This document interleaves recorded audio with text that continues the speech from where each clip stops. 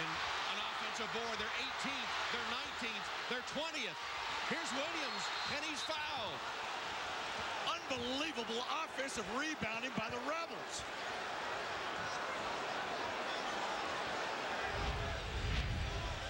Tommy, that's been a story throughout this game tonight, the way Ole Miss has been able to offensively rebound. Oh, I thought Curtis got hammered twice right there. And then Williams gets it in the end. He'll be